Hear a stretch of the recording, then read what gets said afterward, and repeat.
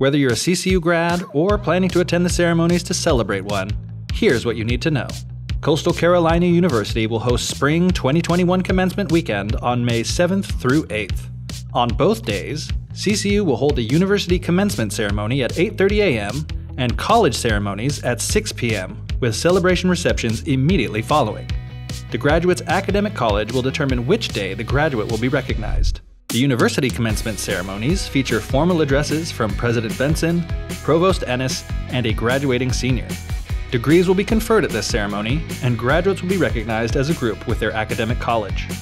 The college ceremonies reflect the personalities of each academic college. At this ceremony, graduates' names will be announced, and they'll be given the opportunity to walk across the stage to receive their diploma cover from the dean of their academic college. College celebration receptions will immediately follow the college ceremonies. To view a full schedule of events and to see which day each academic college will be recognized, visit coastal.edu slash commencement slash spring. Parking is complimentary, and no permits are needed. Directional parking signs will be located throughout campus to guide guests to the general parking areas, and shuttles will be available to transport guests closer to Brooks Stadium. Gates open 90 minutes prior to the start of the ceremony.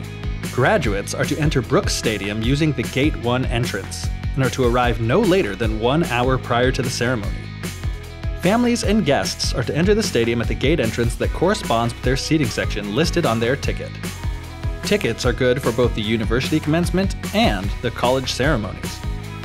Face coverings will be required at all times for those attending the ceremonies, and hand sanitizing stations will be located at each gate entrance. Please be sure to maintain physical distance of 6 feet while in line waiting to get into the stadium, and while moving throughout the stadium. The clear bag policy will be in effect, so all bags must be plastic, vinyl, or PVC, and must be no larger than 12 by 6 inches. Sealed water bottles can be brought into the stadium, and concessions will be open. Due to health and safety guidelines, seating inside the stadium for guests will consist of pods of four seats, with each pod physically distanced 6 feet apart. Graduates will have seats on the turf field physically distanced 6 feet apart. For the university commencement, graduates will be seated with their academic college, and will have an assigned seat for their college ceremony. Graduates, be sure to check your CCU email for your college ceremony seating assignment, which will be sent by end of day on Thursday, May 6th. In order to protect the turf field and ensure the safety of graduates, stiletto heels will not be allowed on the field. Wedges and flats are preferred, but square heels with a width measuring at least 1 inch will be allowed on the field. To ensure a quick and safe exit after the ceremony, graduates are urged to make arrangements to meet family and friends at a designated location outside of Brooks Stadium. Chauncey's photo finish locations are not only great spots to take photos, but are also great meeting locations. If you want to have your photo taken outdoors, you'll be allowed to remove your face covering while the photo is being taken. Anyone not involved in the photograph needs to maintain physical distance.